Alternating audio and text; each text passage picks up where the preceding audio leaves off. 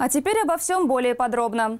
Ежегодно 8 июня в России отмечается День социального работника. Праздник неравнодушных людей учрежден в 2000 году. В Люберцах уже по сложившейся традиции прошло чествование представителей этой профессии. Подробности далее. Социальные работники, так вас называют, величают, а я вас хочу назвать людьми с большой душой, с большим сердцем. Через себя вы пропускаете проблемы жителей нашего городского округа.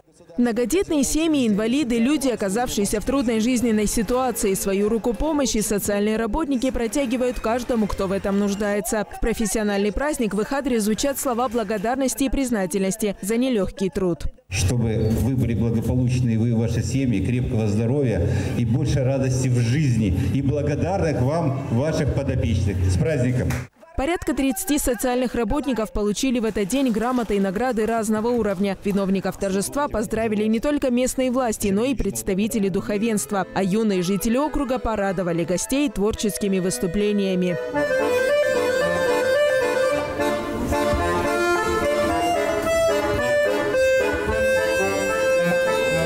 Лиза Игазарян, Сергей Гвоздев, телеканал ЛРТ.